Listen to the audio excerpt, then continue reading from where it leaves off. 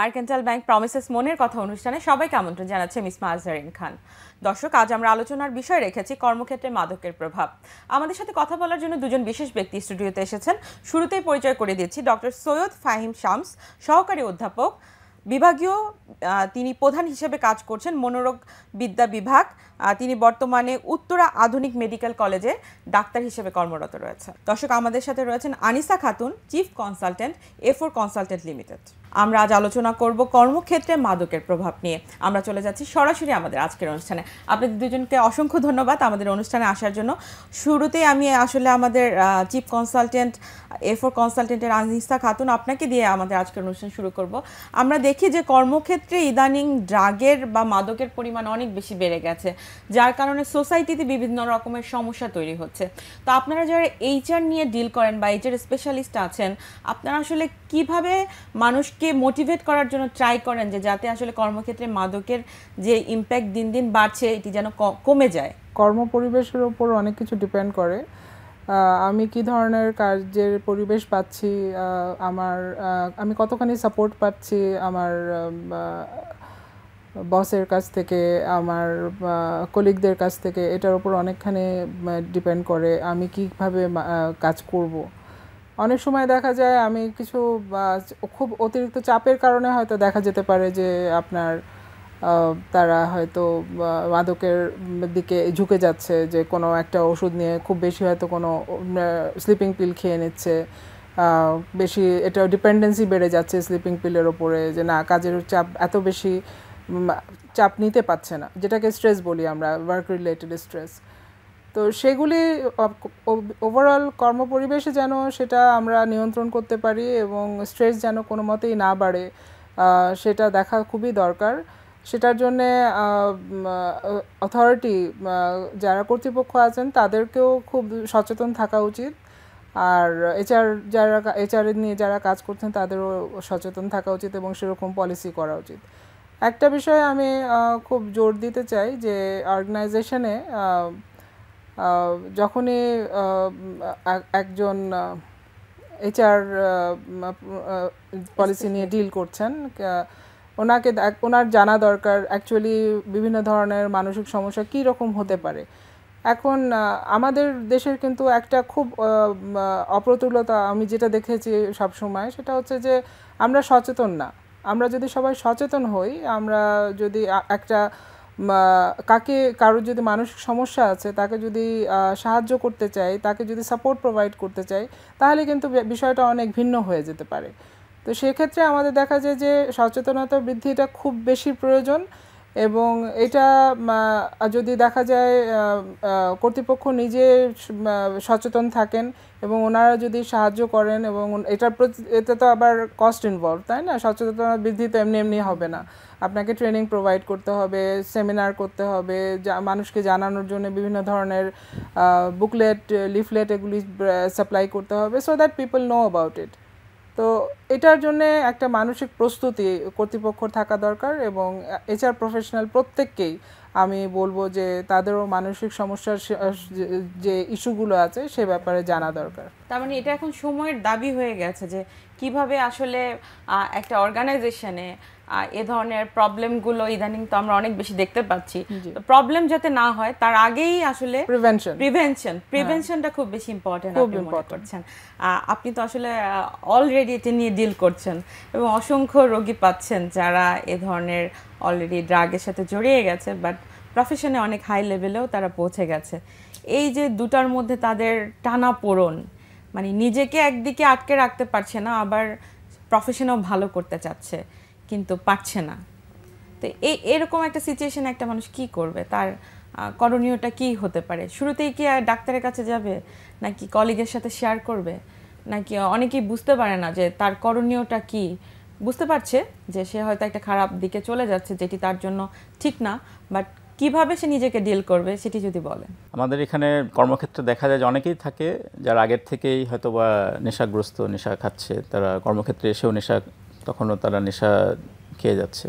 আবার অনেকেই থাকে যারা কর্মক্ষেত্রে আসার পরে কিন্তু বিভিন্ন কারণে আপা যেমন বলছিলেন, বিভিন্ন কারণে তারা নেশাসক্ত হয়ে।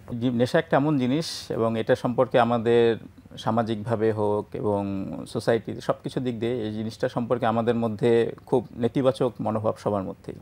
এবং এই জিনিসটা আমরা কারোর সাথে শেয়ার করব, তখন আমরা এটা নিয়ে ভয় পাই এবং আমরা শেয়ার করতে, কারণ আমরা জানি যে শেয়ার করলে সবার মধ্যে একটা নেতিবাচক মনোভাব তৈরি হবে এটা নিয়ে। এবং সবাই আমাকে খারাপ মনে করবে। সেই জন্য তখন আমরা এটা থেকে মানে এটা আমরা পিছিয়ে থাকি, আমরা শেয়ার করি না। সেটা খুব গুরুত্বপূর্ণ জিনিস যে আমাকে এটা শেয়ার করতে হবে, আমাকে বলতে হবে।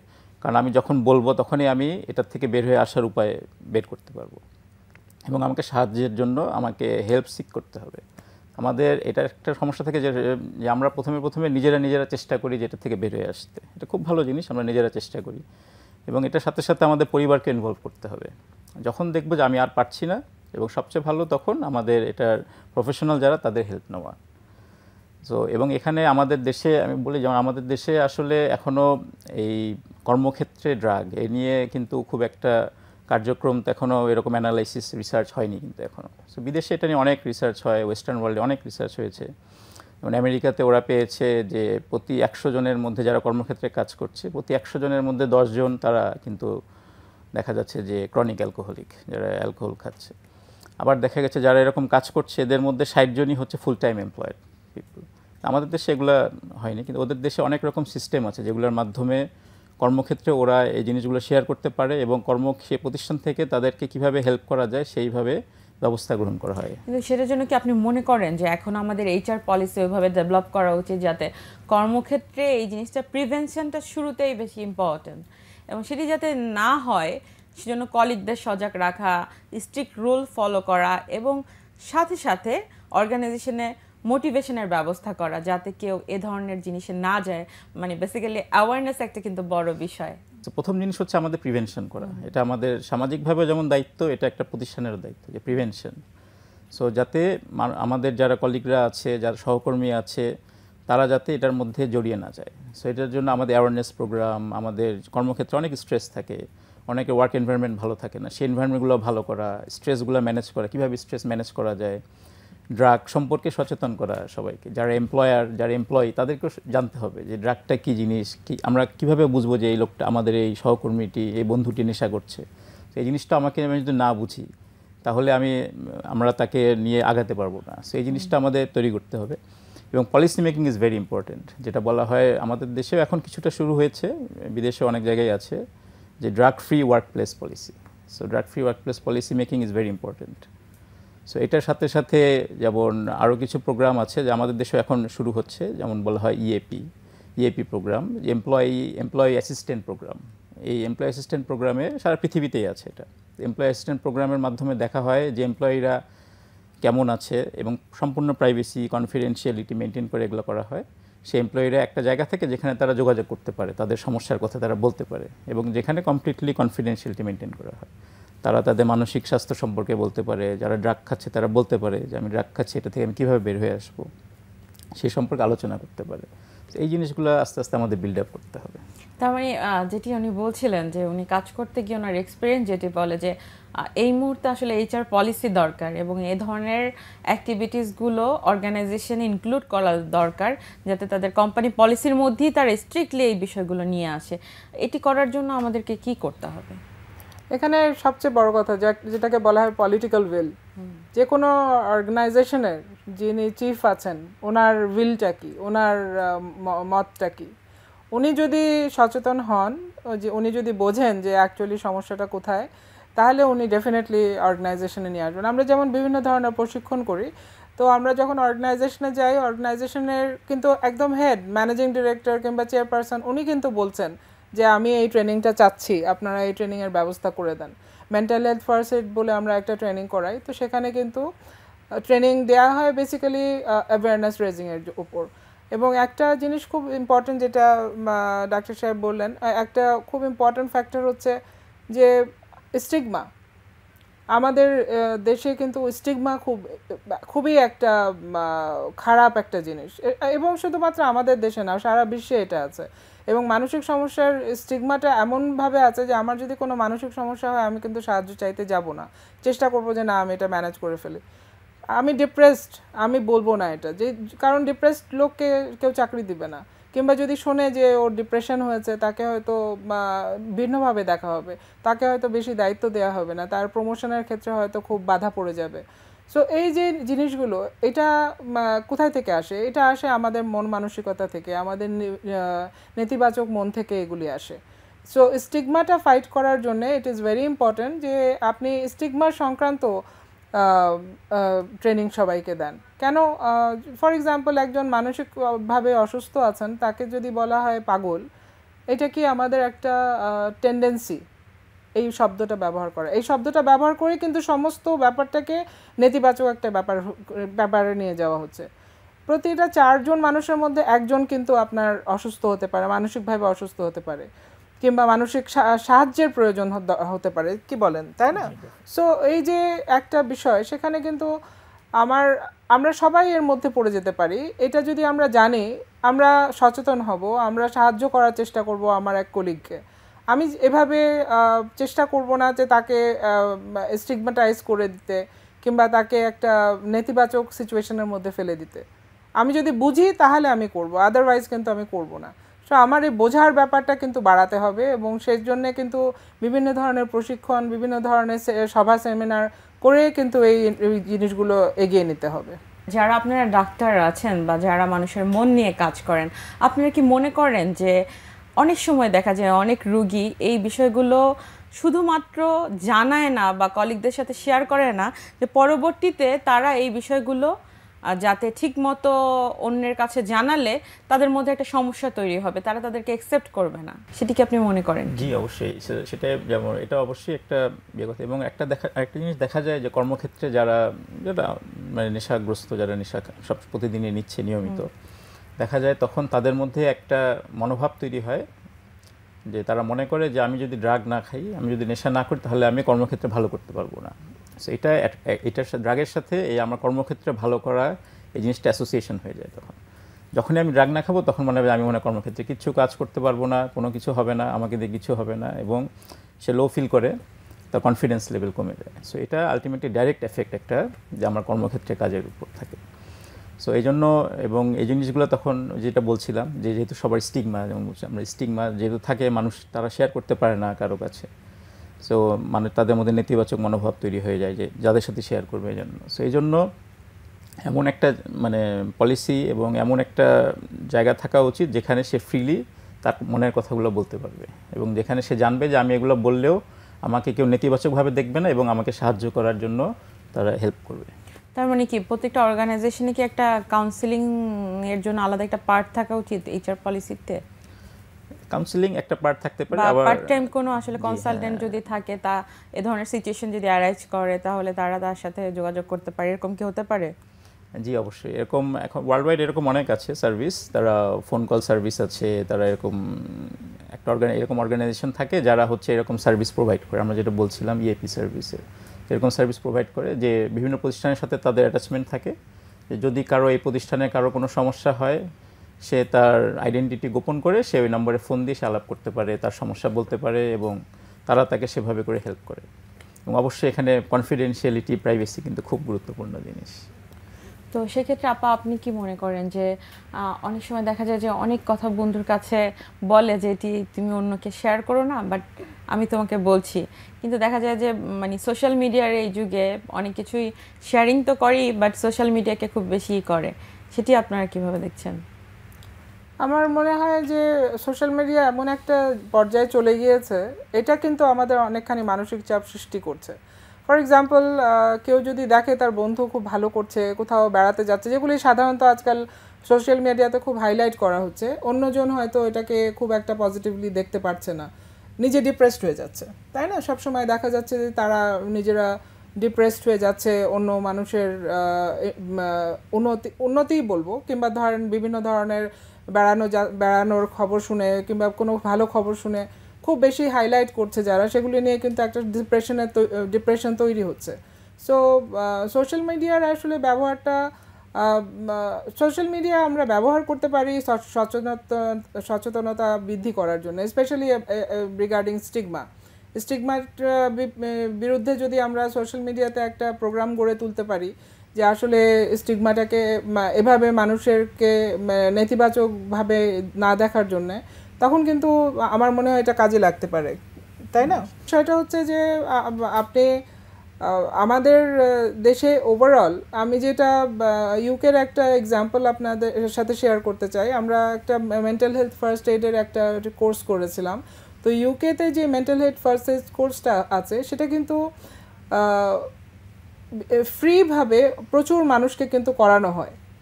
জাস্ট টু রেজ অ্যাওয়ারনেস এবং তারা কিন্তু কন্টিনিউয়াসলি অ্যাওয়ারনেস রেজিংয়ের জন্য এই চেষ্টাটা করে যাচ্ছে। সো অ্যাওয়ারনেস রেজিংটাই কিন্তু সমস্ত কিছুর মূলে এবং এখন যদি লক্ষ্য করা, এখন যদি ফোকাস করা হয়, যে সোশ্যাল মিডিয়া হোক কিংবা আমার অফিসের এনভায়রনমেন্টে হোক কিংবা যে কোনো সোর্সে যে কোনো মিডিয়া ইউজ করে, আপ- আপ- আপনাদের টেলিভিশন হোক, এর মাধ্যমে যদি আপনি অ্যাওয়ারনেস রেজিংয়ের ব্যবস্থা করেন সচেতনতা বৃদ্ধি করার চেষ্টা করেন, তাহলে কিন্তু এটার অনেক এফেক্ট আসবে। এবং আমি যখন সচেতন হব যে হ্যাঁ এরকমভাবে মানুষকে ট্রিট করা উচিত না, কিংবা কারও একটু ডিপ্রেশন হতে গেলেই তাকে ফেলে দেওয়া উচিত না, কিংবা তাকে আউটকাস্ট করে দেওয়া উচিত না, তখন কিন্তু আমি এগিয়ে গিয়ে তাকে সাহায্য করার চেষ্টা করব। সো এই আন্ডারস্ট্যান্ডিংটা তো আমার থাকতে হবে। এই আন্ডারস্ট্যান্ডিং তৈরি করার জন্য তো প্রশিক্ষণের প্রয়োজন আছে। কিন্তু দেখা যায় যে অনেক কর্পোরেট অফিস আছে, ওরা খুব ডিফিকাল্টিস ফেস করছে ধরনের সিচুয়েশন কীভাবে হ্যান্ডেল করবে। কারণ তাদের এইচ অফ এইচআর যে পলিসি সেখানেও তারা আসলে এই ধরনের জিনিস আগে থেকে কখনো চিন্তা করেনি। আর রিসেন্টলি মেন্টাল হেলথ আসলে আমাদের এনভায়রনমেন্ট প্লাস ড্রাগ সব কিছু মিলিয়ে খুব ডিফিকাল্ট একটা সিচুয়েশন ক্রিয়েট করেছে। এবং যারা ওনার বা যারা মালিক পক্ষ ডিরেক্টর থেকে তারাও এ ধরনের এমপ্লয়ীদের নিয়ে প্রবলেমে পড়ে যায়। তখন দেখা যায় যে চাকরি থেকে আউট করে দেওয়ার পর তাকে আর যখন ক্লিন হয়ে যায় তখন তাকে কিন্তু আবার ইনভাইট করলেও আসতে দিতে চায় না বা তার ক্যারিয়ারটাও ধ্বংস হয়ে যায়। তখন সে কি করবে? তখন ফ্রাস্ট্রেশন হয়ে আবার ব্যাক করে সেই ড্রাগের লাইফে এই, এ ধরনের কি এক্সাম্পলগুলো আপনি আপনার যারা পেশেন্ট তাদের ক্ষেত্রে কি পেয়েছেন কিনা? হ্যাঁ ডেফিনেটলি এটা আপনার খুবই একটা গুরুত্বপূর্ণ পয়েন্ট করছেন যে আমরা যেমন প্রিভেনশন নিয়ে কথা বলছি, ঠিক আছে, আমরা প্রিভেন্ট করছি প্রিভেন্ট করছি যে ড্রাগ খেও না ড্রাগ খেও না। কিন্তু একজন ড্রাগ সে আসক্ত হয়ে গেছে, তাকে নিয়ে আমরা কী করব? সো আমাদের পলিসিতে কিন্তু এটাও থাকতে হবে। সো এটার মধ্যে এমন সো প্রিভেনশনের মধ্যে আরেকটা জিনিস আমি বলি, যেমন আজকাল অনেক এজেন্সিতে অনেক জায়গাতেই তারা কিন্তু যেমন ড্রাগ টেস্টিং করে, যে কাউকে যখন তারা নিচ্ছে, তখন তারা ড্রাগ টেস্ট করে। এটার পরে আমরা যখন আসব যে কেউ কেউ আমরা পেলাম যে সে ড্রাগ খাচ্ছে, সে আমাদের অনেক দিন ধরে এখানে এমপ্লয়ি হিসেবে আছে, তাকে নিয়ে আমরা কি করব? এই যে আমরা যদি তাকে নিয়ে আমরা এটা চিন্তা করি যে না, তাকে আমরা রাখব না, তাকে আমরা ডিসকন্টিনিউ করে দিব, এটা কিন্তু ঠিক হবে না। এটা সে কিন্তু মনের দিক দিয়ে আরও ধ্বংস হয়ে যাবে এবং অন্যান্য যারা আছে, তারাও কিন্তু তখন ভয় পাবে, তারাও আর শেয়ার করবে না কখনো। বরঞ্চ আমাদের যেটা করতে হবে যে ট্রিটমেন্ট ড্রাগের ট্রিটমেন্ট আছে। কারণ এটা একটা ড্রাগ হচ্ছে কি? এটা একটা মানসিক রোগ, মনের রোগ। ইটস এ ব্রেন ডিজিজ সেটা চিকিৎসা আছে, এটা চিকিৎসাতে আমাদেরকে সেই মানুষটাকে আমাদের হেল্প করতে হবে। অর্গানাইজেশন থেকে হেল্প করতে হবে, যাতে সেটা থেকে বের হয়ে আসতে পারে। আমি যদি তাকে মনোবল দিই, না, তুমি এটা চিকিৎসা নাও, আমরা তোমার সাথে আছি, পাশে আছি, তুমি ভালো হয়ে আমাদের মাঝে ফিরে আসো। সেটা কিন্তু অনেক বড় বুস্ট আপ অনেক বড় মনোবল। এবং সে যখন এখান থেকে বের হয়ে আসবে, সে তার পটেন্সি তার তার এফিকেসি কিন্তু আরও অনেক বেশি বেড়ে যাবে এবং সে প্রতিষ্ঠানের জন্য তখন আরও অনেক কিছু করতে পারবে। অনেক হাই পটেনশিয়াল একজন মানুষ হিসাবে সে কিন্তু তখন সেই প্রতিষ্ঠানে থাকবে। আমরা যখন এইচআর নিয়ে মেইনলি অর্গানাইজেশনে কাজ করেছি, তখন একটা বিষয় হচ্ছে যে আমার কর্মপরিবেশটা কতখানি সুন্দর করে আমি রাখতে পারি। এখন এখানে ওভারঅল কনসেপ্ট অফ ওয়েলবিইং যে আমি হেলদি কিনা ওভারঅল শারীরিকভাবে আমি হেলদি কিনা, মানসিকভাবে আমি হেলদি কিনা, আমি হ্যাপি কিনা? Whether I am happy or not আমি কাজ করছি ভালো মতো, কাজ করতে পারছি কিনা, কাজ নিয়ে আমি স্যাটিসফাইড কিনা? এবং তার চেয়ে আরেকটা বিষয় হচ্ছে প্রসপেরিটি যে আমার উত্তরোত্তর উন্নতি হচ্ছে কিনা? সো এই যে তিনটা জিনিস, এই তিনটা জিনিস কিন্তু মানুষের জন্য মূল, যে আমি একজন মানুষের ওয়েলবিইং এর জন্য, একটা মানুষ ভেতর থেকে সুস্থ থাকবে, তার জন্য কিন্তু এটা খুব ইম্পর্ট্যান্ট একটা জিনিস। তো আমরা যখন স্বাস্থ্যের কথা চিন্তা করি যে হ্যাঁ আমার সুস্বাস্থ্য আছে, ভালো কথা, আমি কিন্তু আমি খুব স্ট্রেসের মধ্যে থাকছি। কিছুদিন পরে আমার এই সুস্বাস্থ্যটা হারিয়ে যাবে। আমার আমি এক জায়গায় আটকে আছি। আমি আমার উন্নতি হচ্ছে না আমার কর্মক্ষেত্রে। তখন কিন্তু আমি আবার অসুস্থ হওয়া শুরু করি। সো বিষয়টা হচ্ছে যে ওয়েলবিইং ওভারঅল ওয়েলবিইং এর জন্য কিন্তু এইচআর এইচআর হেডকে বলেন কিংবা অর্গানাইজেশনের হেডকে বলেন খুবই প্রয়োজন যে ওনারা এই জিনিসটার উপর খেয়াল রাখেন। যেন আমি আমার, যে এমন একটা কর্মপরিবেশ আমি দিতে পারি, যেখানে আমার ওভারঅল এ টু জেড যত স্টাফ আছে, যে সব লেভেলের স্টাফ আর হ্যাপি ওনারা হ্যাপি না হতে গেলে এক- একটা জিনিস বলা হয় যে আপনি যদি সাকসিড করতে চান, আপনাকে হ্যাপি হতে হবে। এটা আবার অনেকে মনে করে, না, আমি সাকসেসফুল হলে তো আমি হ্যাপি হব। না। আপনি যদি ইন্টারনালি ভেতর থেকে যদি আপনি হ্যাপি থাকেন আপনার যদি ভালো লাগে আপনি কিন্তু সাকসেসফুল হতে পারবেন। আর আরেকটা জিনিস হচ্ছে আপনি যখন একজন সন্তুষ্ট মানুষ একজন হ্যাপি মানুষ তখন কিন্তু আর সবচেয়ে বড় কথা হচ্ছে যে আপনি কিন্তু আরেকজন আরও একজনকে খুশি করে দিতে পারবেন। As you know that smile is effective why if if I am smiling you will smile it's contagious তাই না? সো বিষয়টা হচ্ছে সেরকম যে আপনি ওভারঅল অর্গানাইজেশনে কিন্তু আপনি আপনাকে আপনি বিভিন্ন ধরনের পলিসি করতে পারেন, কিন্তু আপনার আপনি পলিসি করলেন পলিসিগুলোর ইমপ্লিমেন্টেশন নাই। সেখানে আপনার আপনার বস আপনাকে ঝাড়ি মেরে কথা বলছে কিংবা বকা দিয়ে কথা বলছে, তখন আপনি you will not feel good about it so overall পরিবেশ, সবার প্রতি প্রতি মিউচুয়াল রেসপেক্ট সবাইকে শ্রদ্ধা করা, শ্রদ্ধা করে কথা বলা, যার যেটা যে যে লেভেলেই থাকুক না কেন, প্রত্যেকে যাতে একটা ওভারঅল মূল্যবোধ নিয়ে কাজ করে একটা কোর ভ্যালুজ নিয়ে কাজ করে সবাই যেন সবার দিকে ভালো মতো খেয়াল রাখতে পারে সবাই যেন একটা ইউনিট হিসেবে টিম হিসেবে কাজ করতে পারে। এই পরিবেশটা তৈরি করার জন্য কিন্তু আগেন আমি বলব যে পলিটিক্যাল উইলটা খুব দরকার। পলিটিক্যাল উইল মানে অর্গানাইজেশনের যারা কর্তৃপক্ষ তাদের উইলটা খুব বেশি দরকার। তাদের ইচ্ছাটা খুব দরকার। ওনাদের যদি ইচ্ছা ভালো থাকে ওনারা অর্গানাইজেশনকে অবশ্যই ভালোভাবে এগিয়ে নিতে পারবেন। কিন্তু সেই ক্ষেত্রে আসলে যে এমপ্লয়ি বা যে কাজ করছে তার উইলটা তো মানে সবার আগে। তো সেই উইলটা তার মধ্যে আসার জন্য তাকে নিজেকে তো আগে বুঝতে হবে। সেই বোঝাটা যখন হয় না, তখনই তো সে ড্রাগে যাচ্ছে। তো কেন আসলে বুঝতে পারে না? বা কেন আসলে তার মাইন্ডটা ডাইভার্ট হয়ে যায়? বা এই ধরনের একটা অবস্থানে চলে যায় যেখানে নতুন প্রজন্ম আমাদের অ্যাসেট আমরা তাদেরকে ধরে রাখতে পারছি না এবং ওভারঅল বাংলাদেশে এখন নতুন প্রজন্মের প্রতি এটি একটা বড় ধরনের থ্রেট হয়ে গেছে। আপনি জানেন না আপনার সন্তানটি আসলে পরবর্তীতে কোন জায়গায় কোন অবস্থানে আছে? সে যত এই যেই যাক না কেন, এখন মিডল এজে গিয়েও লোকজন এ ধরনের একটা সিচুয়েশনের মধ্যে চলে যাচ্ছে।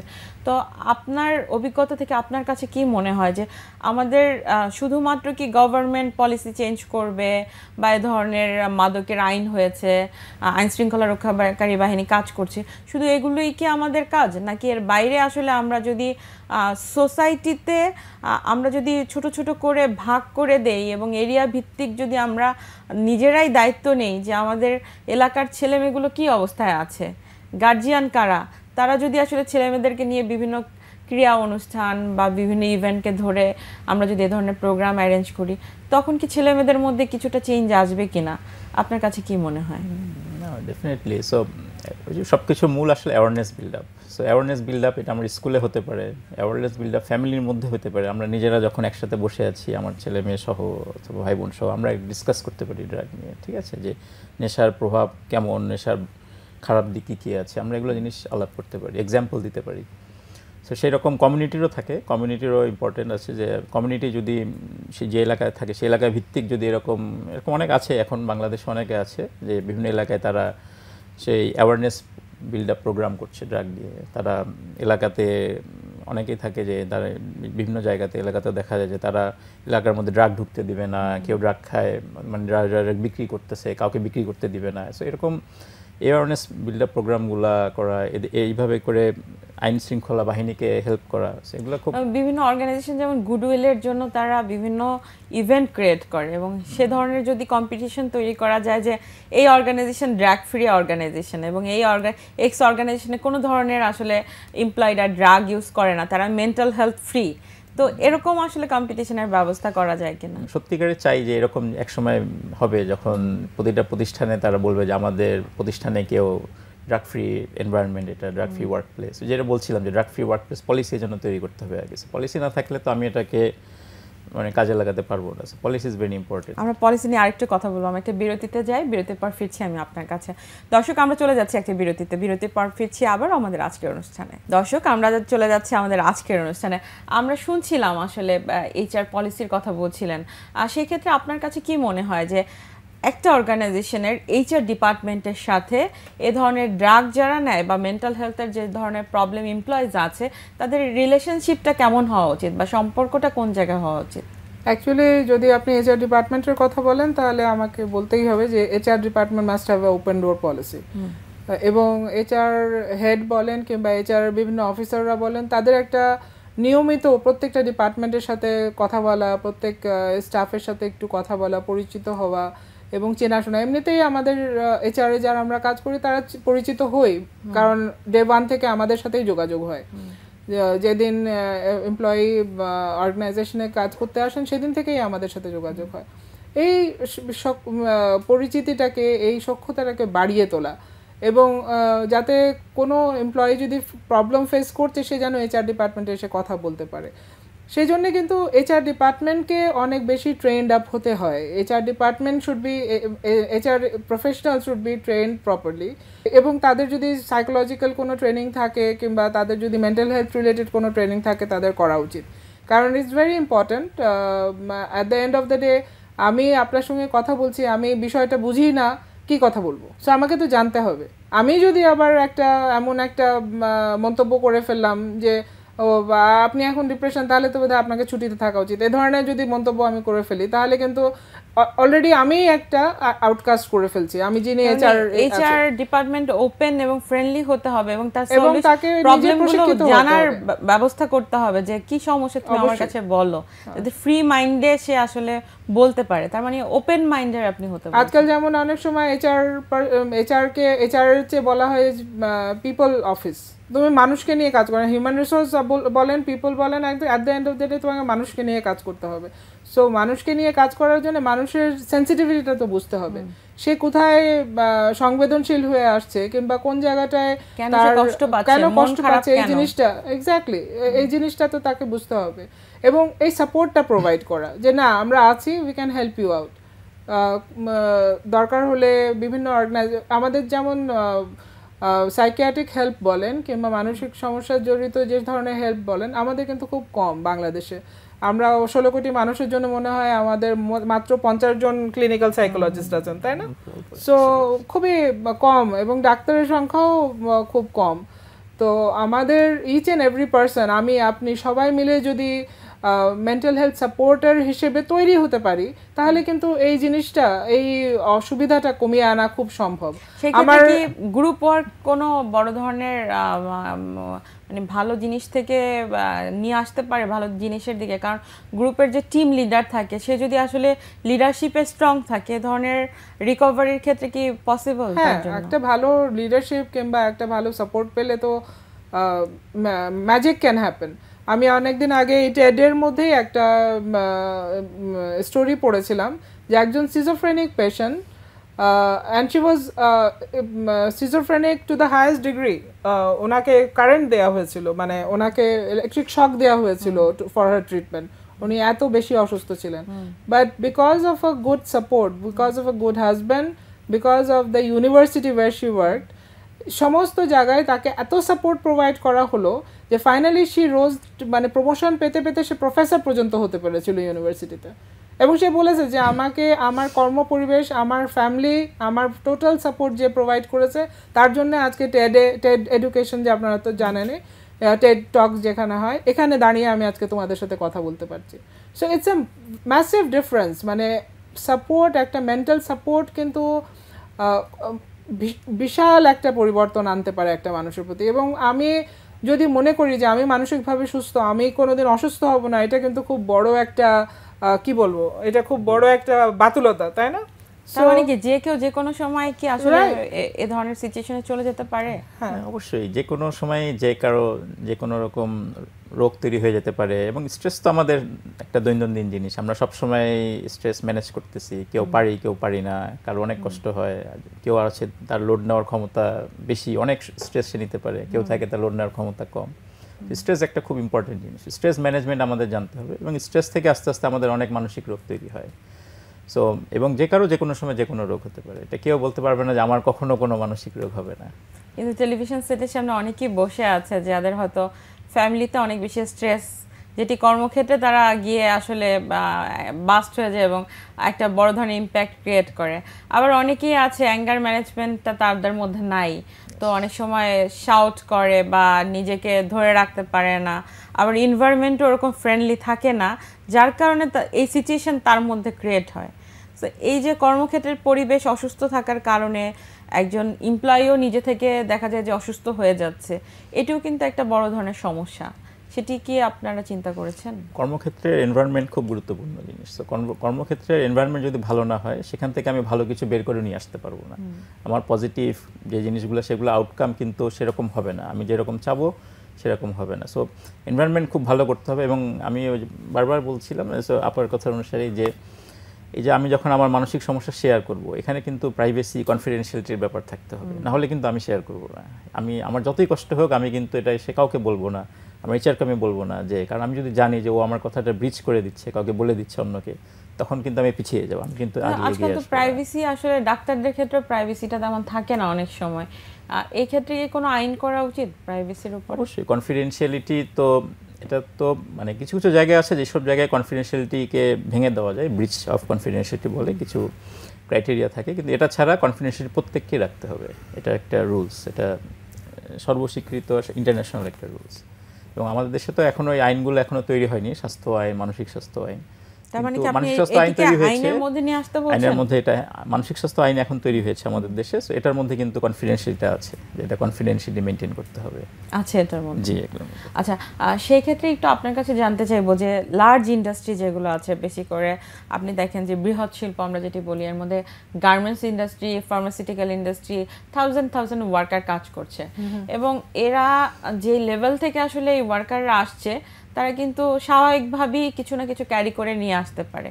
তখন একজন থেকে আরেকজন কিন্তু পাস হয়ে যাচ্ছে এবং গার্মেন্টস এটি কিন্তু খুব ইজি খুব দ্রুত সময়ে একজনের কাছ থেকে ড্রাগ আরেকজনের কাছে পাস হয়ে যাওয়া। তো এত লার্জ ইন্ডাস্ট্রিতে আসলে যারা মালিক পক্ষ তাদেরও কিন্তু ট্যাকেল দেওয়া সম্ভব না। এ ধরনের বৃহৎ ইন্ডাস্ট্রির ক্ষেত্রে আসলে কীভাবে কর্মক্ষেত্রের পরিবেশ নিশ্চিত করতে দেখেন একটা তো আমাদের কোড অফ কন্ডাক্ট যখনই আমরা এইচআর পলিসির কথা বলি সবচেয়ে বড় কোড অফ কন্ডাক্টে কিন্তু লেখা থাকে that you are not suppose to use drugs drugs আপনি ব্যবহার করতে পারবেন না। আপনাকে যদি আপনি you will end up losing job এটা বলেই দেয়া হয়। কোড অফ কন্ডাক্ট এটা একটা মূল একটা ক্রাইটেরিয়া হিসেবে দেখানো হয়। এখন কথা হচ্ছে যে এটা যদি আপনি বলছেন তাহলে এটার ইমপ্লিমেন্টেশনটা কোথায়? সেক্ষেত্রে আপনাকে কিন্তু ইমপ্লিমেন্ট করার জন্য ড্রাগ টেস্ট করতে হবে টাইম টু টাইম একটা এমপ্লয়ির জন্য স্বাস্থ্যগতভাবে আপনি হয়তো বিভিন্ন ধরনের টেস্ট একটা ডক্টর রাখ প্রত্যেক গার্মেন্টস ফ্যাক্টরিতেই ডক্টর আছে একটা টেস্ট মাতৃকালীন সুবিধার জন্য ডাক্তার আছে। আমার মনে হয় ড্রাগের জন্যেও আপনার একটা সেরকম একটা সুবিধা করে দেয়া দরকার। যে বছরে একবার তাদের ড্রাগ টেস্ট করা হবে প্রত্যেক এমপ্লয়ির একটা ড্রাগ টেস্ট করা হবে। এটা হয়তো কস্ট কস্ট হয়তো বেড়ে যাবে কিছুটা কিন্তু at the end of the day এটার লাভ অনেক। সবাই যখন জানবে যে তাকে কিছুদিন পরে ড্রাগ টেস্ট করতে হবে তাহলে কিন্তু সে এই প্রবলেমের মধ্যে যাবে না। সিম্পল জিনিস হচ্ছে আপনার ড্রাইভার যারা ড্রাইভ করে তাদের প্রতি বছর আই টেস্ট করতে হয়। ম্যান্ডেটরি সো সিমিলারলি যারা এত এই- যে গ্রুপের কথা আপনি বলছেন যে ড্রাগ তাদের মধ্যে পাস হতে পারে খুব তাড়াতাড়ি এবং তারা এফেক্টেড হতে পারে তাদের মধ্যে এটা ছড়িয়ে যেতে পারে তাহলে আমরা ওই গ্রুপের জন্য ড্রাগ টেস্ট তো করতেই পারি। এই ইন্ডাস্ট্রিতেও কিন্তু আমরা দেখছি যে যারা এই ড্রাইভিং এর নিয়ে কাজ করছে তাদের মধ্যেও কিন্তু এটি খুব প্রকট আকার তাদের তো করাই উচিত। তাদের তো মানে স্পেশালি ট্রান্সপোর্ট ইন্ডাস্ট্রিতে যারা ড্রাইভার্স হেল্পার্স যারা আছে তাদের তো করাই উচিত। আমাদের যে পরিমাণে অ্যাক্সিডেন্ট হচ্ছে দিস ইজ সো স্যাড সেক্ষেত্রে আপনারা যারা ডাক্তার আপনারা কি সাজেস্ট করেন যে যদি কোনো কলিগ টের পায় যে এই ধরনের সিচুয়েশন অ্যারাইজ করছে বা প্রবলেম হচ্ছে সাথে সাথে কি ডাক্তারের সাথে কথা বলা দরকার? নাকি আসলে এইচআর ডিপার্টমেন্টের রোলটা আসলে কীরকম হওয়া উচিত বা ওনারা কি ধরনের রোল প্লে করতে পারে? সো আমার মনে হয় যে যদি কোনো কলিগ বুঝতে পারে যে আরেকজন কলিগের তার একজন কলিগের এরকম সমস্যা হচ্ছে সে ড্রাগের মধ্যে দিয়ে যাচ্ছে তো সরাসরি কলিগের সাথে আলাপটা মনে হয় প্রথমে উচিত যে কলিগের সাথে যে তোমার কি তুমি কি খাচ্ছ কি না তোমার কি প্রবলেম হচ্ছে কি না দেন তারপরে যদি সে কলিগ স্বীকার করে তখন যে তারা সেটা নিয়ে এইচআর এর কাছে যেতে পারে ডিসকাস করতে পারে এটা থেকে কীভাবে বের হয়ে আসতে পারে সেগুলো আলোচনা করতে পারে। আর যদি সেই কলিগ অস্বীকার করে, তাহলে সে তখন আমার মনে হয় নিশ্চয়ই যে তখন এটা এইচআরকে জানাইতে হবে যে, দেখো, এরকম কারণ কিছু জিনিস আছে ক্রাইটেরিয়া আছে, যেগুলো দেখলে আসলে বোঝা যায় যে আমার কলিগ অথবা আমার সাথে, আমার এখানে সাথে যারা আছে, তারা কাজ করছে, তারা কেউ আসলে আসক্ত কিনা? কিন্তু এখন যে পলিসিটা মেনটেন করা হচ্ছে, কোনো কলিগ যদি কোনো কলিগের বিষয়ে জেনে যায়, সেটি যদি এইচআর ডিপার্টমেন্টকে জানায়, সাথে সাথে ওনার চাকরিটা চলে যায় এবং এটি একটি নেগেটিভ ইম্প্যাক্ট ক্রিয়েট হয় তার মেন্টাল হেলথে তো সেই ক্ষেত্রে কি আসলে এভাবে রিয়াকশন করা উচিত নাকি তাকে টাইম বেঁধে দেওয়া উচিত? অবশ্যই। ওই যে জিনিসটা বলছিলাম যে, অবশ্যই এটা আমার যে প্রতিষ্ঠান থাকবে, সে প্রতিষ্ঠান থেকে তাকে আমাকে হেল্প করতে হবে। আমি যদি কাউকে টের পেলাম যে সে খাচ্ছে, সাথে সাথে তাকে আমি বের করে দিলাম, এটা কিন্তু একটা আলটিমেটলি একটা খারাপ ইম্প্যাক্ট পড়বে। আমার প্রতিষ্ঠানের উপর পড়বে, সেই মানুষটার উপরও পড়বে। আশপাশে যারা আছে, সবার উপরেই পড়বে। যে আমি যদি কখনো এরকম কেউ আমার নামে কেউ বলে, তাহলে আমাকে এভাবে স্যাক করে দিবে। কিন্তু আমাকে সহযোগিতা হাত বাড়ায় দিতে হবে। আমাকে তাকে চিকিৎসা করানোর জন্য তাকে হেল্প করতে হবে, তাকে বলতে হবে যে, তুমি চিকিৎসা করো, ফেরত আসো। আমরা তোমার পাশে আছি, তোমার সাথে আছি। সেই ক্ষেত্রে আ- আপনি কি মনে করছেন যে অনেক হেলথ কেয়ার অর্গানাইজেশন আছে যেখানে যাওয়ার পর পেশেন্টের সাথে খুব বাজে ব্যবহার করা হয় এবং রিকভারি এডিক্টরকে ক্লিন করার ক্ষেত্রে তারা যে ধরনের মেন্টাল হেলথ প্রিভেনশনের জন্য অ্যাটিটিউড প্রযোজ্য। সেটি না করে মানে রাফ অ্যাটিটিউডে চলে যায়। এটি কি ঠিক কিনা? না এটা অবশ্যই ঠিক না। এটা এটি কোনো মনিটরিং ব্যবস্থা নাই। আমাদের দেশে এই সেক্টরটা নিয়েও আসলে ওভাবে কাজ করা হয় নাই কখনো কারণ হ্যাঁ, ওগুলো আমাদের দেশে তো অনেক মানে অ্যাকচুয়ালি ড্রাগ অ্যাডিকশন ট্রিটমেন্টের তো অনেক ভাগ আছে। যেমন কিছু আছে যেমন রিহ্যাব আর কিছু আছে ডিডক্সিফিকেশন সেন্টার্স কিছু আছে যেখানে ডাক্তাররা থাকে কিছু আছে যারা আগে যারা ড্রাগ অ্যাডিক্ট ছিল তারা নিজেরাই নতুন প্রতিষ্ঠান খুলে তারা চালাচ্ছে। তো তারা যখন চালায়, তারা তাদের মতন করে চালায়। এবং এইসব বেশিরভাগই এইসব মানে যে- ইয়েগুলো চলে আসে, যে মারামারি করা, শাস্তি দেওয়া, বিধান, এই সমস্ত কিন্তু এইসব রিহাবেই হয়। কিন্তু কখনো যেগুলো সাধারণত ড্রা মানে ডাক্তাররা চালাচ্ছে অথবা যেটা যেটা সিস্টেম আছে, একটা ইন্টারন্যাশনাল একটা রুলস আছে যে কীভাবে একটা ড্রাগ অ্যাডিক্টের চিকিৎসা হবে। সেখানে কিন্তু এরকম মারধর, এরকম ইয়ে কষ্ট দেওয়া এরকম কিন্তু কোনো পলিসি নেই কোনো এরকম এরকম সিস্টেমই নেই মানে ভালোবাসা দিয়ে পেশেন্টকে আবার ব্যাক করে নিয়ে আসা যায়। আমি একটু জানতে চাইব আনিশা আপা আপনারা তো অনেক ট্রেনিং এবং প্রশিক্ষণ নিয়ে কাজ করছেন। এ ধরনের প্রশিক্ষণগুলোর ক্ষেত্রে আমরা দেখি যে এই মেন্টাল হেলথ বা ড্রাগ রিলেটেড ইস্যুগুলো অ্যাড করা হচ্ছে না। তো এখন তো সময়ের দাবি। তো আপনারা এইচআর স্পেশালিস্ট যারা বিভিন্ন ইন্টারন্যাশনাল অর্গানাইজেশনের সাথেও কাজ করছেন বিভিন্ন দাতা সংস্থার সাথে আপনারা দেখা যাচ্ছে একদম রুরাল লেভেলে গিয়েও ট্রেনিং দিচ্ছেন আবার হায়ার লেভেলেও ট্রেনিং দিচ্ছেন। তো এটি যদি আপনারা চালু করেন যে এর পাশাপাশি মেন্টাল হেলথ এবং ড্রাগটাকেও ম্যান্ডেটরি রাখা সেটি পসিবল কিনা? সেটা পসিবল এবং যেহেতু আপনি এটা তো আপনিও বলছেন এবং আমরা সবাই বুঝতেও পারছি যে এটা সময়ের দাবি। এটা আমরা কিছুদিন আগে নারী উদ্যোক্তাদের নিয়ে কিছু ট্রেনিং করছিলাম। সেখানেও নারী উদ্যোক্তারা বলেছেন যে আমরা যে স্ট্রেস ফিল ফেস করি আমার কাজ করতে গিয়ে সেটার জন্য আমাদের মেন্টাল হেলথ রিলেটেড ট্রেনিং দরকার। সো এভরিবডি এখন কিন্তু আপনি শুধুমাত্র অর্গানাইজেশনে যারা কাজ করছে তা না, উদ্যোক্তা যারা আছেন তারা তারপরে কৃষকরা কৃষকরা এই- ধানের মূল্য পেল না বলে তারা সুসাইড করে ফেলল। এই ধরনের ঘটনা তো ঘটছেই তাই পরীক্ষায় পাশ করতে পারল না বলে সুইসাইড করে হ্যাঁ, ফেলল। বা একটা বাবার কাছে বায়না ধরেছে জামা কিনতে পারল না ধরে সুইসাইড করে হ্যাঁ। ফেলল। খুব ছোট ছোট বিষয় কিন্তু মানে মানুষ ক্যারি করতে পারছে না বা হ্যাঁ। তার মেন্টাল হেলথ সাপোর্ট করছে না এগুলো নেওয়ার জন্য। এটা খুব প্রয়োজন এটা মানে মানসিক স্বাস্থ্যের জন্য বাজেটে বরাদ্দও থাকা উচিত খুব ভালো মতো। এবং এটা নিয়ে কাজ করারও প্রচুর সুযোগ আছে এবং কাজ করা দরকার। বিশেষ করে প্রশিক্ষণের ক্ষেত্রে আপনি মনে করছেন যে বাজেটে আলাদা করে ফান্ড অ্যালোকেট করা উচিত এই এই সেক্টর ডেভেলপমেন্টের ক্ষেত্রে যারা এই ধরনের মেন্টাল হেলথ নিয়ে কাজ করছে এবং এটা খুব ইম্পর্টেন্ট একটা ফ্যাক্টর এটা কিন্তু আমরা যখনই ধরেন ফর এক্সাম্পল আমরা হয়তো বিজনেস স্কিল ডেভেলপমেন্টের একটা ট্রেনিং করছি কিন্তু আমি একটা খুব স্ট্রেট সিচুয়েশনে কীভাবে আমি রিয়াক্ট করব কীভাবে আমি ডিল করব নিজেকে কিংবা কীভাবে নিজেকে আমি সামলাবো? নিজেকে সামলানো অনেক বড় ফ্যাক্টর সেটার উপরে কিন্তু একটা গাইডেন্স যদি আমি পাই তাহলে আমার জন্য অনেক সুবিধা হবে। আর এই এই বিভাজনগুলো যখন আপনারা ট্রেনিং এ একজন উদ্যোক্তাকে দেখাবেন যে আপনার এমপ্লয়িকে এই সাপোর্টগুলো দেওয়ার পরে আপনার প্রোডাকশন ক্যাপাসিটি কতটা হাই হয়েছে আর না দেওয়ার কারণে আপনার পার ইয়ার প্রোডাকশন ক্যাপাসিটি কতটা লো ছিল। হ্যাঁ। এই ডিফারেন্সটা যখন আপনারা চার্ট আকারে দেখাবেন তখন কিন্তু মানুষের মধ্যে অটোমেটিক অ্যাওয়ারনেস বাড়বে। হ্যাঁ এই ক্ষেত্রে অ্যাকচুয়ালি প্রচুর গবেষণারও দরকার আছে। আমাদের দেশে তো এই মুহূর্তে তেমন গবেষণা হয়নি আমার জানা মতে। আর ডাক্তার ফাহিমও সেটা বললেন। তো আমাদের অ্যাকচুয়ালি এই গবেষণা করার জন্যও বেশ কিছু উদ্যোগ নেওয়া দরকার। তার মানে আপনি মনে করছেন যে এই এই সাবজেক্টটা এখন সময়ের দাবি এবং এটির জন্য প্রচুর গবেষকদেরকে গবেষণা করার জন্য এমপ্লয়ি হায়ার করা উচিত যাতে হচ্ছে গিয়ে এই সেক্টর ডেভেলপমেন্টে আসলে সহায়তা করে। আমি আরেকটু বিষয়ে জানতে চাইব যে রিলেশনশিপ ব্রেকআপের ক্ষেত্রে একটা বড় ইম্প্যাক্ট পড়ে যেটি আসলে পরবর্তীতে ওয়ার্ক এনভায়রনমেন্টে গিয়ে উনি ক্যারি করতে পারেন এবং নানা ধরনের সমস্যার মধ্যে দিয়ে ইয়াং জেনারেশনও হতে পারে। আর এখন তো দেখছি আমরা যে পরকীয়ার হার বেড়ে গেছে ডিভোর্সের রেট হাই ছেলে মেয়ে একদিকে থাকছে, বাবা মা একদিকে থাকছে, বাবা মার সাথে সম্পর্কের টানাপড় নানা রকম রিলেশনশিপের ডিস্টেন্সের জন্য কিন্তু কর্মক্ষেত্রে ওয়ার্ক যতটা হাই হওয়ার কথা সেটি হচ্ছে না। কারণ অনেকেই দেখা যাচ্ছে যে মাঝরাত পর্যন্ত সোশ্যাল মিডিয়া বা ইন্টারনেটের মধ্যে আসক্ত হচ্ছে পরবর্তীতে কর্মক্ষেত্রে এসে কাজ করতে পারছে না। এই ক্ষেত্রে কি আপনি মনে করছেন যে গভর্নমেন্টকে আরও বেশি অ্যাওয়ার হওয়া উচিত জনগণের ক্ষেত্রে? তো গভর্নমেন্ট তো তার অ্যাওয়ারনেস প্রোগ্রাম নিবে বিভিন্ন। কিন্তু এখানে নিজেদেরকেও হতে হবে এবং পরিবারকে, যেমন বলছিলাম সে নিজেদেরকে এবং পরিবারকেও কিন্তু এখানে এগিয়ে আসতে হবে। যে কেউ কোনো সমস্যার মধ্যে দিয়ে গেলে তার নিজের হেল্প সিক করতে হবে এবং পরিবারকেও তাকে যে হেল্প করতে হবে সেই সেই মানসিকতা থাকতে হবে যে ও সমস্যার মধ্যে দিয়ে যাচ্ছে আসোকে আমরা সবাই মিলে হেল্প করি। মানে কিন্তু আমি বলতে চাচ্ছি যে সরকার বিভিন্ন সময় বিভিন্নভাবে পুরস্কৃত করে। তো এই রিসার্চ বা গবেষণার মাধ্যমে যদি কোনো পরিবারকে খুঁজে বের করে অ্যাওয়ার্ড দেওয়া হয় যে এই পরিবার ড্রাগ ফ্রি পরিবার তারা এ ধরনের অ্যাক্টিভিটিসের সাথে কখনোই ইনভলভ ছিল না। তার কারণে বাংলাদেশের সেরা পরিবার হিসেবে তাদেরকে আমরা অ্যাওয়ার্ড দিলাম বা পুরস্কৃত করলাম।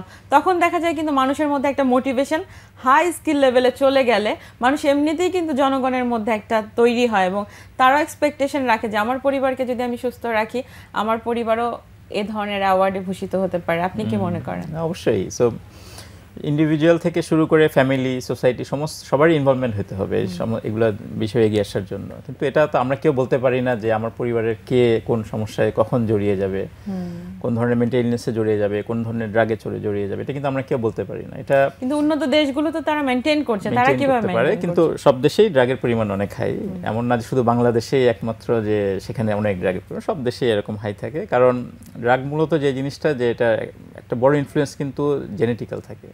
যে ক্রোমোজোমাল বলে জেনেটিক্যাল বলে আর কি, যে, এটা আমার, যে, একজন, একবার কেউ খেলো আলটিমেটলি সে আসক্ত হয়ে গেল। কেউ বলতে পারবে না যে, আমি একবার খেলাম, আর কখনো আমি আসক্ত হব না। এটা কেউ বলতে পারবে না। জেনেটিক্যাল ফ্যাক্টরটা যেহেতু খুব, এখানে একটা ইম্পর্টেন্ট ফ্যাক্টর থাকে, এজন্য যে কেউ যে কোনো সময় আসক্ত হয়ে যেতে পারে। সো আমরা কখনোই বলতে পারব না যে, আমি কখনো আসক্ত হব না। কখনো বলতে পারব না, আমার পরিবারের, আমার ছেলেটা কখনো আসক্ত হবে না। কিন্তু আমি যদি ঠিক মতন সুপারভাইজ করি এবং ওকে ঠিক মতো নলেজ দেই। নলেজ ইজ ভেরি ইম্পর্টেন্ট এখানে যে আমরা যে বলছিলাম যে অ্যাওয়ারনেস বিল্ড আপ করা। সো ঠিক মতো যদি অ্যাওয়ারনেস করি নলেজ বিল্ড আপ করি তাহলে দেখা যাবে সে ড্রাগের ক্ষেত্রে যাবে না। তাহলে দেখা যাবে সে ড্রাগ থেকে দূরে থাকবে যারা টেলিভিশন সেটের সামনে আছে তাদেরকে কি বলতে চান? যারা টেলিভিশন সেটের সামনে আছেন তাদেরকে বলব যে আপনার কর্মক্ষেত্রটাকে খুব সুন্দরভাবে গুছিয়ে নিন। কর্মক্ষেত্রটাকে ভালো রাখুন। কর্মক্ষেত্র যদি শান্তিপূর্ণ হয় স্ট্রেস কম থাকে ভালো থাকে তাহলে দেখবেন আপনি ভালো থাকবেন। এবং আমাদের দেশের জন্য যেটা বলছিলাম যে এইচআর পলিসিটা খুব গুরুত্বপূর্ণ জিনিস। এখানে যদি আমরা মেন্টাল হেলথকে ইনক্লুড করতে পারি ড্রাগকে ইনক্লুড করতে পারি তাহলে আমাদের কর্মক্ষেত্র আরও অনেক ভালো হবে এবং অনেক গতিময় হবে। আর আপনার মতো যারা আসলে এই প্রফেশনকে বেছে নিয়েছেন তারা যদি আরও এই প্রফেশনে ইয়াংরা আসতে চায় তাদের জন্য সরকারের কাছে কোনো চা- চাওয়া বা বাজেটে কোনো বরাদ্দ রাখা তাদেরকে আরও কীভাবে স্কিল করা যায় সেটা নিয়ে কোনো আমাদের দেশের স্বাস্থ্য খাতের বরাদ্দ তো দিনে দিনে কমছে। আপনারা দেখেছেন হয়তো এই বছর কিন্তু আরও কমে গেছে পয়েন্ট ওয়ান পার্সেন্ট আরও কমছে। স্বাস্থ্য খাতে কমে মানসিক স্বাস্থ্য খাতে আরও কমে। সো অবশ্যই সরকারকে মানসিক স্বাস্থ্য খাতে কে গুরুত্ব দিতে হবে এবং সেখানে বিভিন্ন রকম এটা বাজেট বাড়াতে হবে। এবং এটার সাথে সাথে বাজেট বাড়ানোর সাথে সাথে অ্যাওয়ারনেস বিল্ড আপ প্রোগ্রামগুলো আরও অনেক বেশি করে করতে হবে। আপনারা মিডিয়ারাও এখানে অনেক হেল্প করছেন। এই জন্য আপনাদেরকে ধন্যবাদ যে এই জিনিসগুলো আপনারা মানুষের মাঝে ছড়িয়ে দিচ্ছেন। ইজ ভেরি হেল্পফুল এবং আমাদের মতন এখন অনেক ইয়ং অনেকে এগিয়ে আসছেন। আগে মানসিক রোগের ডাক্তার সবাই মনে করতো পাগলের ডাক্তার। এখন কিন্তু আর আস্তে আস্তে এটা একটি স্টিগমার সারা ওয়ার্ল্ড ওয়াইডই আছে সারা পৃথিবীতে আছে বাংলাদেশেও আছে। তো আস্তে আস্তে এগুলো থেকেও মানুষজন দূরে সরে যাচ্ছে। এখন আর সবাই পাগলের ডাক্তার বলে না। ডাক্তাররাও স্টিগমাটাইজ হয়ে ডাক্তাররাও স্টিগম্যাটাইজ থাকে। তার মানে ফ্যামিলি একটা বড় হেল্প করতে পারে যে যখন তারা নিজেরা নিজেদের মধ্যে প্রবলেম শেয়ার করবে সেটি একটা বড় sharing is very important very important আনিশাপা একটু জানতে চাই যে আসলে আমাদের মাননীয় প্রধানমন্ত্রী সবসময়ই আসলে এ ধরনের বিষয়ে বিশেষ গুরুত্ব দেন। তো বিশেষ করে আসলে যদি নারীদের ক্ষেত্রে আমরা দেখছি যে অনেকেই ড্রাগের দিকে চলে যাচ্ছে এবং নারী আপনি আন্টারপ্রেনার বলেন এবং যারা ধরনের এমপ্লয়ি কাজ করছে কর্মক্ষেত্রে তাদের পরিবেশ ধরে রাখতে পারছে না শুধুমাত্র এই এই ড্রাগের দিকে চলে গেলে লিডারশিপটা মেনটেন করতে পারছে না। তো নারীদেরকে কিন্তু আপনি দেখবেন যে এবারও স্টার্ট আপ উদ্যোক্তাদের জন্য বিশেষ প্রণোদনা দেওয়া হয়েছে। তো এই ক্ষেত্রে যদি আরেকটু ক্যাম্পেইন করা হয় যে সে ধরনের নারী যারা ড্রাগ ফ্রি তাদের জন্য আরও বিশেষ প্রণোদনা বাড়ানো হবে। তাহলে কি আপনি মনে করেন না যে মানুষের মধ্যে আরেকটু অ্যাওয়ারনেস বাড়বে? হ্যাঁ এটা বাড়বে। কিন্তু ডাক্তার ফাহিম যেটা বললেন এটা খুব ইম্পর্টেন্ট যে আসলে নান অফ আস কেউ আমরা বলতে পারি না যে আমরা একদম I will continue to be okay আমার কন্টিনিউ আমার কন্টিনিউয়াস একটা সারাক্ষণ আমি ভালোই থাকব। যে কোনো সময় যে কোনো সমস্যা হয়ে যেতে পারে। তো বাট ডেফিনেটলি আমার মনে হয় আমি যদি আমি যতখানি সচেতন হব আমি ততখানি প্রিভেন্টিভ কেয়ারগুলো নিতে পারব। এখন আমাদের প্রত্যেকের ক্ষেত্রেই আহ, আমাদের নারী উদ্যোক্তাদের ক্ষেত্রে বলেন নারী কর্মীদের ক্ষেত্রে বলেন নারী সিনিয়র ম্যানেজমেন্টের যারা আছেন তাদের ক্ষেত্রে বলেন তারা শুধুমাত্র নিজেরা সচেতন হলে হলে চলবে না। নিজের সচেতন হওয়া, যেটা আপনি করছেন। আপনি কিন্তু সচেতন হচ্ছেন এবং আপনি কিন্তু এক ধরনের সচেতনতা বৃদ্ধির জন্য এই ধরনের প্রোগ্রামগুলো করছেন। আমি রীতি এটিএনকে অবশ্যই অনেক ধন্যবাদ দিব এটার জন্য। তো এই বিষয়টা কিন্তু হচ্ছে যে কোনোভাবে এবং আমি প্রধানমন্ত্রীকে বলব যে উনি যেহেতু একজন নারী, চুলি ব্যবসার ক্ষেত্রে বলেন, কাজের ক্ষেত্রে বলেন, প্রচুর স্ট্রেসের মধ্যে দিয়ে যেতে হয় তাদের। তো তাদের যদি সেই সহায়তার পদগুলো একটু খুলে দেওয়া হয় কিংবা সহায়তার পদগুলো সুযোগ করে দেওয়া হয় যে যেখানে গিয়ে তারা বিভিন্ন ধরনের মানসিক সহায়তা পেতে পারেন, তাহলে তাদের জন্য অনেক উপকার হবে। আমি যেটা বলছিলাম কিছুক্ষণ আগেই যে আমি নারী উদ্যোক্তাদের একটা ট্রেনিং করাতে গেলাম। তো ওখানে উদ্যোক্তারাই বললেন যে আমাদের যদি একটু মেন্টাল হেলথ সাপোর্ট নিয়ে আপনি যদি একটু কথা বলতেন কিংবা একটা ট্রেনিং করাতেন আমাদের সচেতনতা বৃদ্ধি পেত এবং আমাদের জন্য কাজ কাজে সেখানে আমাদেরকে ডাকবেন আমরা চেষ্টা করব এই ধরনের কাজগুলোর সাথে আপনাদের ইনভলভ হওয়ার। আমি সব শেষে আমার প্রশ্ন থাকবে যে বাংলাদেশে অনেক সহায়তা কেন্দ্র আছে কিন্তু অনেক রিচ পিপল বা অনেক বড় লোক কিন্তু দেখা যাচ্ছে যে টাকা পয়সা আছে, তাদের এনাফ সাপোর্ট আছে, কিন্তু সহায়তা কেন্দ্র নাই। নারী নির্যাতন সহায়তা কেন্দ্র যদি বাড়াতে চায় সরকার, সেটি নিয়ে কি কোনো কাজ করা উচিত কিনা এই মুহূর্তে? খুব দরকার। মানুষের যে পরিমাণ কষ্ট মানুষ ফেস করছে, এবং শুধুমাত্র আপনার নির্যাতনের ক্ষেত্রে না, আপনার, আমরা যে বিভিন্ন ধরনের নিউজ আজকাল পেপারে পড়ছি নির্যাতনের নিউজ যে সমস্ত বলতে ইট ইজ ভেরি মানে খুবই কষ্টদায়ক একটা ব্যাপার খুব চাপ সৃষ্টি করে যে কি হচ্ছে কেন এরকম হচ্ছে। আমি জানি না আপনি আপনার আমরা আমাদের যারা পয়লা বৈশাখ সেলিব্রেট করছিলাম এই বছর এই বছর কিন্তু নুসরাতের কথাটা পয়লা বৈশাখের সেলিব্রেশনেও আমরা আলাপ করেছি। আমরা কতখানি পজিটিভলি মানে পয়লা বৈশাখ সেলিব্রেট করতে পেরেছি এবার। সবাই বলেছে একটা ম্লান, একটা কেমন জানি একটা ধোঁয়াটা ধোঁয়াশা নিজেদের ওপরে থেকে গিয়েছে। তো এটা কিন্তু খুব মানসিক চাপ সৃষ্টি করে আমাদের প্রত্যেকেরই ওপরে। এবং আমরা যাতে এটার জন্য সহায়তা কেন্দ্রগুলো তৈরি করতে পারি সেখানে আমরা গিয়ে কথা বলতে পারি।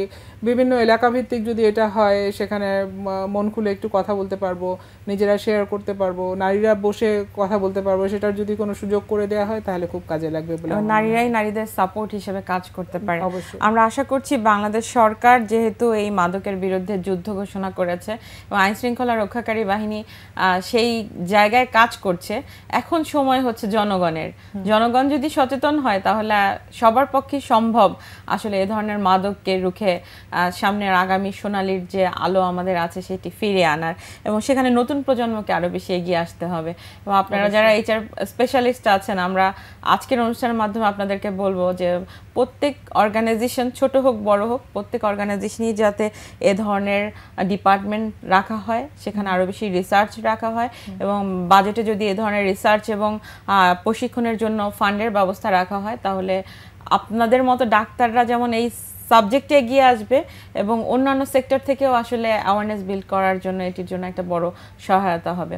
আপনাদের দুজনকে অসংখ্য ধন্যবাদ আমাদেরকে সময় দেওয়ার ধন্যবাদ। দর্শক আমরা কথা বলছিলাম কর্মক্ষেত্রে মাদকের প্রভাব নিয়ে। আমরা আজকে অনেকগুলো বিষয় পেয়েছি তার মধ্যে আমাদের একটি সবচেয়ে গুরুত্বপূর্ণ বিষয় এসেছে গবেষণা এবং সেই সাথে বাজেটে ফান্ডের বরাদ্দ। আমরা চাচ্ছি যে আসলে এই সেক্টর ডেভেলপমেন্টের ক্ষেত্রে যারা মানসিক স্বাস্থ্য নিয়ে কাজ করছে এবং এ ধরনের রিকভারি অ্যাডিক্ট নিয়ে কাজ করা হচ্ছে, তাদের জন্য যাতে সহায়তা দেওয়া হয়। আজকের মতো এ পর্যন্তই, দেখা হবে আগামী সপ্তাহের বুধবার আর রাত বারোটায়। সে পর্যন্ত সবাই ভালো থাকুন, সুস্থ থাকুন।